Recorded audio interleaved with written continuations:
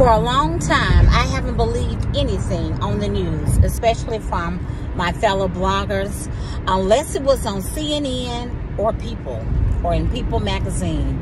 So I agree with Sharrell's world. Uh, don't go for it until you see the person themselves being arrested in handcuffs. Otherwise, just take any news you hear about any popular topic with a grain of salt. One thing we know for sure is cold outside and the holidays are on us. So I want everybody to be safe out there while shopping. To And I hope your Thanksgiving was absolutely fulfilling. And I hope you have an even better Christmas.